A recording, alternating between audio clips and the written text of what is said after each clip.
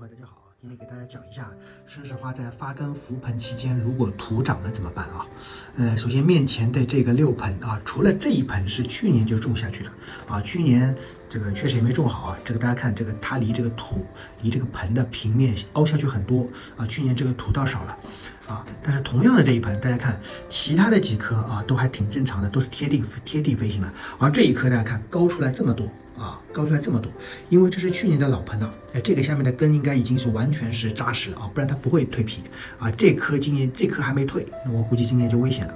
但总的来说啊，像这一盆我一点办法也没有啊，我能做的就是减少浇水，等到明年的蜕皮的时候，我把这一棵容易土长的扒皮啊，这一棵去年就土长了，今年依然土长。今年其实我也扒过皮，但是也止不住它继续往上涨啊。这棵可能是基因比较特别的原因啊。这是去年的。好，再给大家看今年的这几这几棵啊。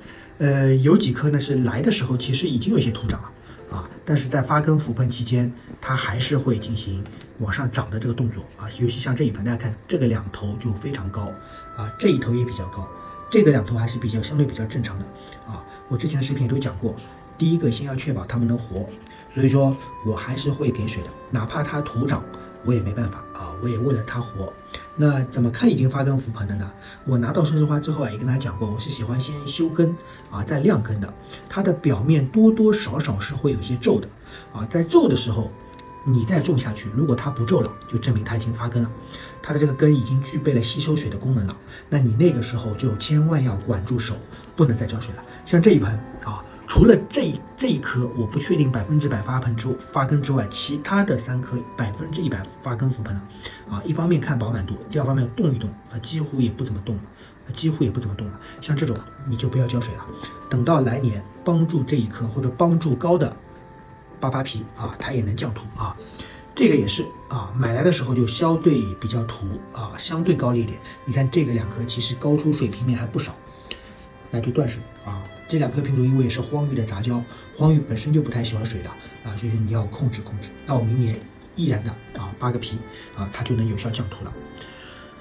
这个也是啊，这个也是荒域啊，这是比较好的这个品种的这个荒域啊。这个现在来看，我也百分之一百确定它们都发根腐盆了，那就断水啊。这颗并没有土长得很离谱啊。那这个啊，这个是绿光阳啊，绿光阳，因为这颗是老母本啊。啊，和其他的小苗还不太一样。这颗老母本，那大家看，其实还是会略微的高了那么一点点，对不对？高了那么一点点。但是因为它的个体单头还是比较大的，所以说它整的这个形状还是控制在合理范围内的。那我就不要去管它了啊，正常的养护。那我现在的做法是不去管它。如果周这个这个植物的这个周围啊，看到有些皱了啊，我再会在底部去浇一下水。除此之外，我不太会再去浇水了，因为它已经发根了。而且你试试看。